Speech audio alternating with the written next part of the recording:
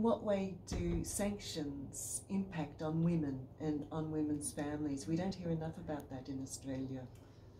Uh, first of all, the sanctions against Syria are, really, are truly unilateral measures uh, that were taken by the United States uh, without uh, any UN uh, uh, approval or Security Council resolutions.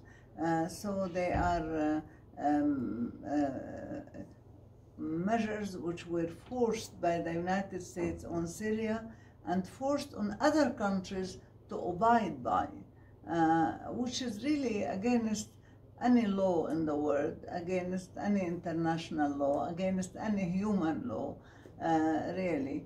Um, of course, they affected not only women, they affected children, they affected families, particularly the ill, because uh, they prevented, for example, medicine for cancer.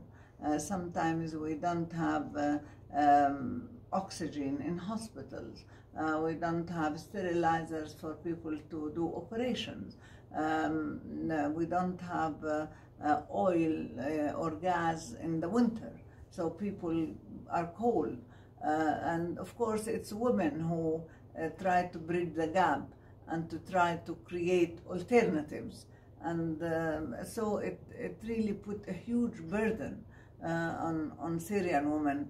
But, um, you know, I, uh, the problem is that when I read Western press and um, the Americans say that they force more sanctions against Bashar al-Assad, they are, they, are, they are horrible measures against our livelihood, against the livelihood of every Syrian person.